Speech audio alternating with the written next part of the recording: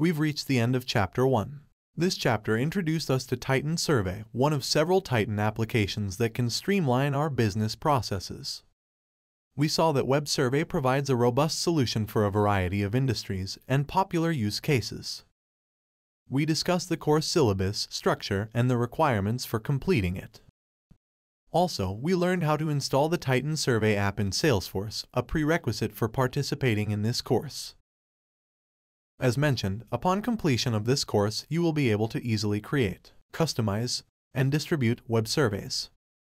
Also, you will be eligible to register for our advanced courses, which will discuss more Salesforce additional features.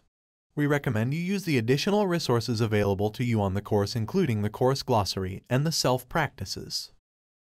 If you are taking this course for accreditation, please make sure you complete all course assessments. In the next chapter, we will learn about the web survey interface.